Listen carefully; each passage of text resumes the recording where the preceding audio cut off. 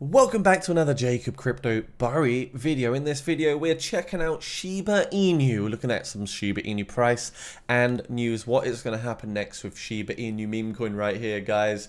Um, I think, you know, we can look at a bullish scenario, a bearish scenario, and fingers crossed, you know, we're just going to get the outcome that we all want, which is a big bump to the upside. So I think that will happen, but we need to, of course, remain patient for now. But there could still be some good dips along the way, okay? Um, now, Overall, Shiba sitting at $0.00000268, $15.79 billion market capital. Um, overall, I think we're in a good place still, however, and uh, I think we just shouldn't really panic. I think panicking and reacting to the market right now, trying to go like heavy long, heavy short, is very, very risky. Now, if you're new to the channel, by the way, guys, please subscribe if you do want to hit your crypto goals this 2024. Now let's crack on. So Shiba, according to Dollar Currency 21, I found this tweet here. Um, buyers maintain control as a slow correction unfolds. We are seeing that slow correction. Significant liquidity awaits below the FTR zone, 0.00 0019, hinting at potential price hunt. So he thinks that we actually might come down even lower to this particular region here, where it says the liquidity below this level will serve as ample fuel for the next impulsive move, potentially forming a new all-time high. So he thinks we'll see $0.000019 first. Of course, there's liquidity around this range that we're already at. So here we can see below this FTR zone, significant liquidity awaits, suggesting a potential hunt by the price. And we can kind of like back sort of test that 0 0.19 region that he's looking at because I do also have that region written in as another area of interest. This is a big point of interest, which is right here. I'll probably change this color, something a bit more sort of poppy, um, something a bit more catchy that I will remember with significant value. But we can see right here, um, you know, I don't think 1.5 will happen. I think that could happen in the future, but you know, right now we're still in sort of bull mode. Now, if we just look at Shiba Inu and just take our Fib Fibonacci trail, that does take us below the 0.618 and we do firstly have liquidity at 2362 which is a good point of interest here but I still think that 0.19 level that's going to be a humongous you know kind of fear. That's going to be a big fearful move. That would be very, very fearful. But you can see that we did before capture a huge buying um, wick at that 0.00019 level. So it is possible to see that happen. But also we might just not see that happen at all. We might only just go down a little bit and back to this 0.23 region and then back up to 2.5 and then back upwards like this. This could just happen instead. We could just blip down one more time to the 2.3 rather than the 1.9 and I think that's more likely to actually happen here for Shiba Inu. And looking at kind of the, the price action right here in the 4 hour, well, it's looking like a bit of a bear flag, to be honest. But when we look at the 30 minutes, you can see Shiba does keep trading in these W patterns, these bullish, you know, reversal patterns, these double bottoms. We are seeing that happen over and over again. So we could still see Shiba retest 2729 today. We could still potentially see Shiba break out of the resistance that we see here as well and even retest maybe levels like 275 um, overall I think you know we're following the plan we're following the protocol which is trading sideways for a good you know 20 to 40 days which we have to we have to repeat what happened last time in 2021 but I think if this scenario played out here where we do correct one more time down to this 2-3 region, I think that could serve as a very juicy area to accumulate. So kind of anywhere just you know in this region is for me, good accumulation. I think it would be hard to perfectly get to three without some buying orders. So I might set up some long orders actually for Shiba Inu at these particular regions, which I will probably do very soon. Um, so I'll, I'll, do that in this video at some point. I'm going to set up some long positions for Shiba Inu, and you can actually watch me do it on this video if you if you want. So um, we'll also include this to the video today as well. We've got a bit of a we've got a bit of funds here in the the wallet. We've got yeah we've got some equity, so we're going to show you how I'm going to do that in this video too. Um, I'm going to set up a long order for this support region because I believe it's area of interest one, but I believe this is major area of interest. So I'm going to put a massive, a humongous long position in at this 0.000019 region because I believe for some reason, if the market does go down, let's say I'm away, I'm asleep, I'm on holiday, I, I don't know what I'm doing, you know, I'm going away next week, if that order fills, that could make potential bank right there. So fear in the markets, we're seeing Uh, I mean, guys, you know, we can't stay at extreme, we can't stay at extreme greed forever, right? It just does not work like that. If you go all the way back over here, you can see the time, the duration spent at 90, you know, uh, fear and greed index the time spent at you know post 90 90 and above is very little so you know now that being at 90 is a sell indicator not a buy indicator the buying indicators is where you see the relative strength index below 20 you buy below 20 you sell you start to take profits above 80 85 and especially above 90 don't be afraid to take profits, not financial advice. But this is such a simple indicator and like it's so underlooked, it's so undervalued. It's such a simple indicator that just gives you a true barometer and you know um, an indication of where you are in the markets. And I just think you know overall we, have got to use it more. Shiba Inu price prediction: Shiba patterns indicate incoming gains. Analyst says Shiba Inu one of the industry's most popular meme coins and crypto ecosystems trail behind other popular tokens, um, you know, like Dogecoin last week, with a price decline of 8% on the weekly scale. So this guy thinks a bullish rally is incoming. That is just a lazy chart. It doesn't really tell you much. It's just a symmetrical triangle. I mean, yeah, you're you're just speculating it's going to pump to the upside, but overall, I think um, you know this could still fall and, and lose support. So it's not just bullish only, right? But yeah, I think overall it's looking good. The burns are increasing. This actually predicts here a 2x by mid-December. This means Shiba could surge to 0.000044, um, even potentially up to 0.000086. And the thing is, Shiba could still remove a zero. It could absolutely remove a zero still. Um, we've got to get back to at least a 50 billion um, valuation of market capital to see something like that happen as well, guys. So if you're a meme coin out there, also a new project has entered the crypto space. I want to share it with you lovely people today. Let's have a look at it. So it is an ICO. It's on ERC20 network, and this is a very, very gorgeous looking pre-sale, isn't it? Just look at it. Just, just look. Would you look at that? Would you just look at that? It just looks amazing. So welcome to Kangamoon, your adventure awaits. It says enter the realm of Kangamoon, where every challenge is a chance to earn, and victory counts and translates into real world value and rewards. So we can see right now, Kangaroo, they're in stage five of their ICO. 10% bonus available on all purchases. They've just raised over $4 million as well, which is quite a significant uh, milestone. We can see these are priced in at $0.0196.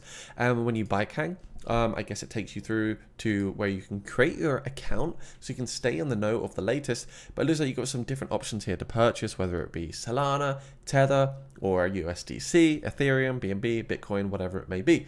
So what actually is this? Well, it integrates GameFi and play to earn. So it says embark on your quest for glory, assemble your champions, engage in epic battles, or bet on your favorite fighters to earn Kang tokens and exclusive rewards. Gain control of rare NFTs and unlock exclusive content and build alliances with fellow gamers.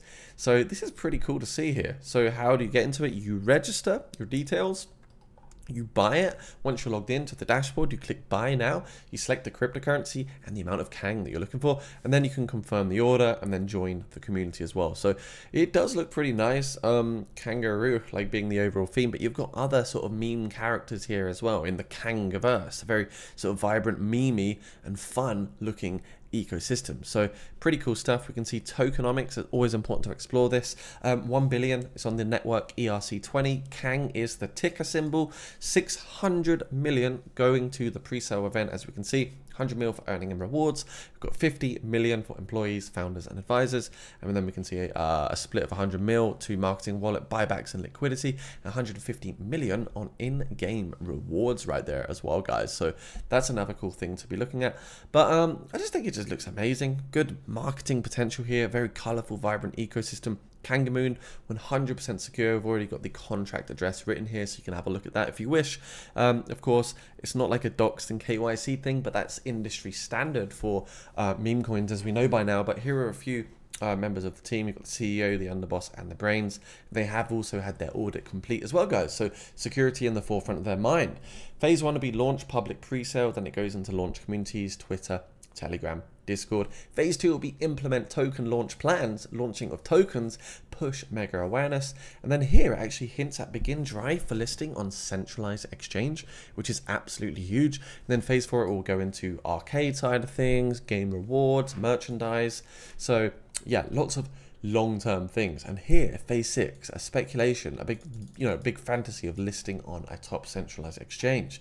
So that is very, very good stuff right there. Um, does look pretty cool. Remember, this is not financial advice, but if you want to grab some of these Kang tokens, the link is right down below for you guys. You can sign up as well um, if you wish. So here we can see on Twitter, Knockout News, they raised $4 million and they're getting quite a lot of impressions over there decent level of retweets, likes too. Um, and I guess, yeah, this is one step closer to the big kangaroo. Kangamoon launch. So welcome to Kangamoon, community-driven meme coin that blends meme culture offering SocialFi and play to earn features. 16k followers right there, guys does look pretty good. You can see they're actually doing $500 in Kang tokens with community engagement campaign season. So do check out Kang down below, worth taking a look at. Not financial advice, but we are in a bull market and ICOs and pre-sales absolutely perform much better during, you know, the uptrend, the bullish sort of season, right? 5.8k holders as well. So that's pretty significant just from a few days ago right there. So yeah, link down below if you want to explore that one. Have a little look at it and uh, do your research, folks. Moving back to Shiba Inu, ChatGPT predicts when Shiba could hit 0.05. Now, I don't usually think ChatGPT is that like accurate, but it can come up with some spectacular things. Um, so Shiba, of course, had its all-time highs in 2021 that we remember. We're waiting for those days to come back. Um, but when will Shiba Inu hit 0.05? Um, wow, I mean that is ridiculous. Look at that. 11 years, according to the popular AI chatbot ChatGPT, Shiba could hit 0.05 by 2035. So that is 11 years from now. Now you'd have to wipe out three whole entire zeros. So that's what, 10x, 100x, 1000x. So they're saying 2000x. I'm sorry, but I'm going to call BS on this one. Um, I'm going to call BS to Watcher Guru because of the tokenomic supply, the dilution. I just simply, I don't think that's possible. It's not even talking about the market capital figure. So I think that's a bit silly, silly speculation. 2050, however, could be a bit different. You know, it's 26 years, but I still think because of its tokenomics, its flaws with the supply, when you're in the trillions like this, you're not going to see those, you know, massive unit costs without having a project valuation being, you know, worth 50 trillion or something crazy like that. And that's just the sheer truth. So yeah, just want to put it out there, guys. If you're waiting for these numbers like this, because articles like this are telling you it's going to happen, then um, yeah, you should stop reading articles like this. So, Mr. Page Mamba Mohan Rajia, that is not very nice. Nah. Anyways, another little update here. Dogecoin 20. Quick reminder: 15 days 23 hours to go until Dogecoin 20 is also done and dusted. So this is another meme coin I so you can check out. The link is down below if you want to research it. 15 days left to get into Dogecoin 20. Um, yeah, feeling very good about this one as well. So many hot ICOs and pre-sales out there at the moment. It's just so hard to know which one to really pick and get into. And if you guys are looking to grow your crypto portfolio, do check out my Patreon just down below where you can unlock trading signals early insights on straight to DEX launches and the next big crypto calls all down there. Now we did say we will enter a, um, a position here on Shiba Inu, so we are going to actually place an order for Shiba on um, a long position right here. So let's just take it back to the charts. So I firstly think a good area of interest for me is going to be the sort of two, I don't know if we're going to hit it for sure, but the 2388 region is significant interest for me. We're on 5x leverage. So let's do 3,500 times 5, what, 17,500. Is that right? I don't know. I don't even know. I don't even trust my own brain these days. So Yep, 17.5k, that's a 3.5k overall margin, which isn't massive, but I think on the next position, I'm going to do a much larger one. So we will go long there. As for a stop loss here, um, I don't want to be too conservative, so I might go with the two sort of five region there. So what we're doing is we're effectively setting in a stop loss. So if, um, wait, what am I doing? We're going long, right? So we're setting a stop loss. Um, we're going to put this stop loss in at around, if we're entering over here at the 2383 region, we're on a long position. I mean, we could easily refill down here, but on position one, we're going to go over 224 on the stop loss. So we're just going to hit that in there. We lose about 1.8k on that position, so that's that's really leaving a lot of room, and hopefully that would not happen. Um, so it would be good if that didn't happen. We could even just increase this number slightly and reduce the overall loss. It's really, of course, hard to say exactly where a coin is going to go. And nobody makes billions of trading. And you're going to make wins, you're going to make losses. As long as you've got more wins than losses, that is absolutely fine. On a take profit side of things, we will, if we enter here, you know, happy to sort of ride that up to the 2772 region. So we'll get a couple G's out of that, I reckon. That is not impressive. That's not enough. Why, why is it only giving us this much if we're filling in on the 2378? Or have I just not done this right? Ah, limit order. Silly me. So bear with guys, I, I don't really trade that often. If, if I'm honest, I outsource the talent because it's just so much easier to outsource talent these days than actually do it all yourself, which is fine. So we're going to do the $17,500 and that gives us a margin of 3,500 USDT because we're on a 5x. Now, with this entry at the 2388 region, I do believe that's a good region to enter. We will put our take profit at 2766. So with this in mind, we will be up a few thousand, I believe. So 2.77k on that. And now with a stop loss, we could then go a little bit more sort of balls deep. So 2243, I think we'll still go with the 2243. So we're going to put that in 2243. Now you can see if this goes well, we're going to make 2.7k. If it doesn't go well, we lose 1k. Blah blah blah. Um, in fact, I could I could be a bit bearish. I could be a bit bearish if this feels at 2.3. I've got a really bad itch. If this feels at 2.3, maybe this take profit region is a little bit on the bearish side. Maybe I could move up to 0.3. This is me now showing you what greed looks like. So there we'll make 5k. I'm happy to enter this long. If it goes short, I will lose money, whatever. If it, if it goes to the upside on this fill order, I'm going to make 5k, which would be really, really nice. So we can see that buy long is now entered. Now, what we're also going to do is speculate that, well, actually, this is, of course, another big point of interest.